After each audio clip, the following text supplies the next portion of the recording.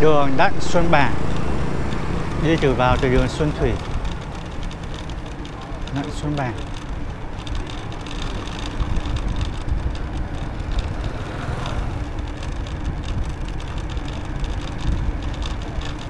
Nguyễn Hành.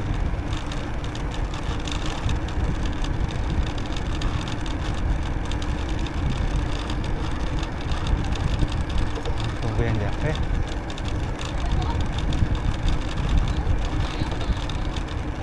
ở trường trường cấp 2